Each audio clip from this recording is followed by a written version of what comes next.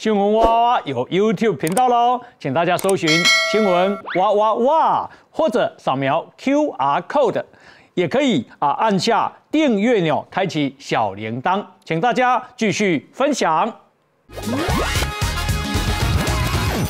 那请教陈律师，嚯，这有小三查甫人跟有样拢这凶哈？其实不只是男生啦，我想说，就是女性也是，就是有时候如果有新的感情、新的生活，那那个心一变之后，他抛弃原本的家庭，又或者是说，因为原本的家庭里面就是柴盐酱醋茶这些的嘛，那很现实的，每天都是责任呐，不是那么说。呃，爱情啊，快乐啊，那遇到了新的对象，那有的新的感情，就会很容易是不要原本的家庭，这个真的是很蛮常见的。嗯，那其实甚至是说，如果两边都成立了家庭，有那种就是也跟小三组成家庭的，那就会是两边家庭的拔河嘛。嗯那其实大部分的人是会把心力放在比较后来的家庭啊，这个是比较常见的。其实像我自己的外公，其实就是这样的状况，就是说他。就是本来就有家庭了，那去了酒家认识了人，那后来就是呃也有孩子新的家庭啊。其实他原本的我爸妈妈这边的家庭都还小孩都还小，嗯，对，但是他就是也没有再拿钱回家。嗯那所以我妈妈就常常说，他小时候会跟着妈妈，跟着他妈妈就我阿妈，就是去他们那个小三的家那边，然后去要钱。其实那个我我觉得是。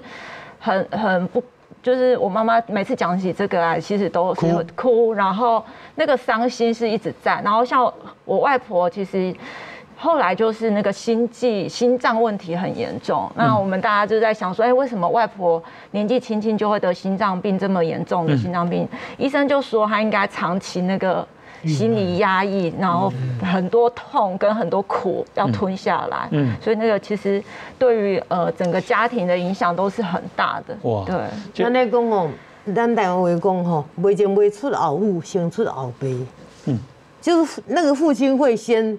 把这个心变得，偏向于小三，嗯是是，而且会就是两边的拔河，因为如果说比较会有手段，又或者是比较会去拉住那个先生的那边的人，其实我觉得他会拿到比较多资源啊，对的，对。哎，我感觉这真的有警示作用 哦。但那谢姨呢，无咱的孙啊去电视跟咱讲了。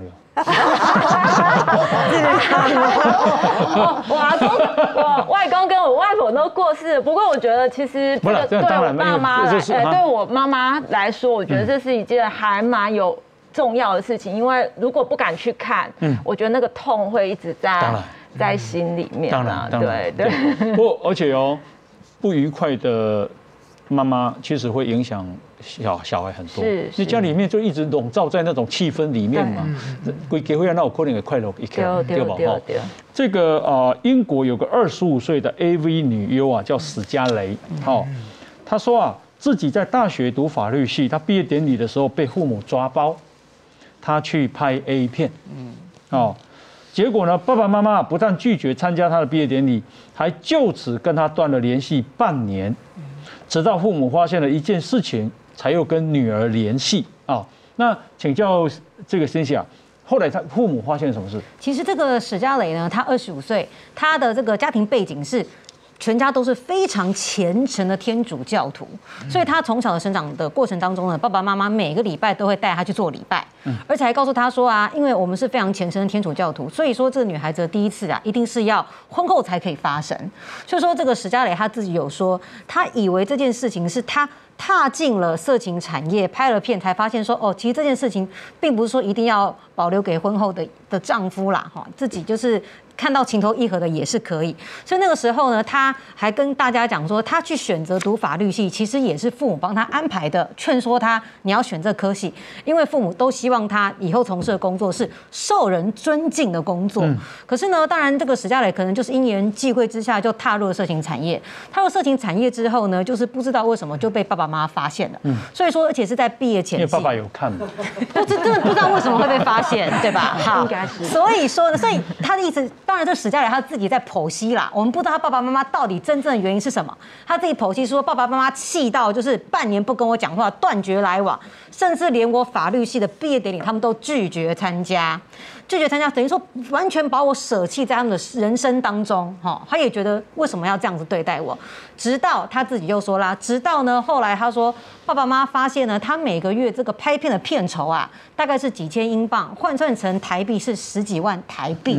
然后呢，于是他说，于是爸爸妈妈呢又开始跟我维系了，重新。重启了亲情的维系，又再度接纳我，让我回到他们生活当中。所以他认为整件事情的转泪点呢，是爸爸妈妈知道他哦，原来你拍片哇，可以赚这么多钱呢！我的天哪，他的统心是这样嘛？钱呢？对他，他他自个人，我相信他个人是这样的理解啦。可是我们真的不知道爸爸妈妈到底是什么原因嘛？了解了解。好，那陈律师啊，他有呃这个女性朋友也生了两个女儿，可是呢。就是老大很受疼，可是老二就差很多啊？为什么？嗯，这是我朋友的朋友，然后他就是妈妈，其实也算是会带孩子的人，可是也也不知道为什么，就是妈妈就是完全对这个第二个女儿，好像就是说不不把她当女儿。如果不知道的人可能会以为说这不是她生的。那现在其实孩子现在的孩子很少说做家事啊，或者是煮饭，可是他就是让老二。就是要做家事、洗衣服啊，然后煮饭这些，而且其实小孩还很小，才七岁。哇！对，就是说七岁，那这个孩子，我觉得他就是有那种超乎他年龄的一些沧桑跟很世故，还有他其实完全知道发生什么事情。但这个状况也也妈妈妈妈也不算是不不是说那种很直接对他有什么打骂这种，可是就是冷漠。嗯。完全的冷漠冷漠是比打骂还严重。其实是我，我觉得这个对孩子的心灵伤害是很大，所以其实家族人都看到在眼里。那阿妈就很心疼，就想说：啊，不然我把小孩接回去，接回去跟自己住。啊，妈妈也没有阻止，妈妈好像也觉得哦，好啊，反正你们爱怎样就怎样，这也不是我在意的事情，这样子。那其实这个孩子现在大概十岁，那十岁其实他，我觉得他长得比一般孩子来说就是。等于是说，就是看不精神，然后也很瘦弱，然后也，而且其实是说，呃，他知道完全知道是发生什么事情，然后所以他你会在他言谈之间，你会知道说，我觉得他对妈妈那种复杂的情绪，还有他知道说，他其实是不被在意跟不被对待。嗯，他爸爸其实是入狱，所以。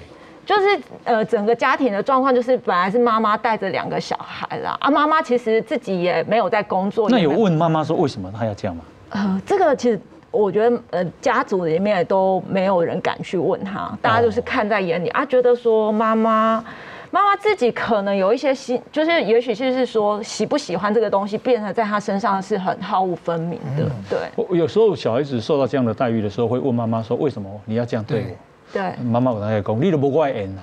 对了，我妈有会有人我妈曾经这样讲说你是养女了，你没有看看我生的小孩都很漂亮，只有你最丑。啊，这样子对，好直接。他说你是养女，是不是那个晚上爸爸比较不用心？就是这是不相干的天数了。然后我哥哥也跟着他嘲笑我。你们家只有一个你一个女儿吗？三个女儿。那三个女儿妈妈都没有有大有大的大。挡路小的都根本都不理他，他讲话都都会顶嘴啊。你是老大，我是老大，你的的老大啊，是不是家里面你都扛起来啊？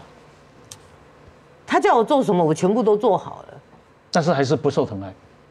我并没有要争取他的疼爱，因为我觉得不可能。啊，是哦，对对啊，是是。有些妈妈是。因为他长得太像爸爸了，那他很恨爸爸，他就把这个 恨爸爸的敌意。不对，我不是说你妈妈，我是说像刚刚陈律师讲的，因为他如果说因为爸爸入狱嘛，有可能这个二女儿长得跟爸爸一样啊，妈妈就是看到他就觉得看到爸爸。对啊，这种例子也蛮多的。对，其实就是大家也会试着想要去找这个原因，可是很难跟这个妈妈谈了，因为她她没有是在这一方面愿意多讲什么。有有些子女生出来哦，虽然都是女生，但长得不像哎。哦，对，蛮多的。然后那个长得不像的，有些人就像啊爸爸的前女友，所以这 比较难。那是不是妈妈生的？妈妈自己清楚。对啊。那呃，廖老师说，你想到了施继清老师讲过的话。那个那个我是不太相信的。他说有一个观落音嘛，还是什么去问观音嘛，是问神呐哈。嗯。哎哎。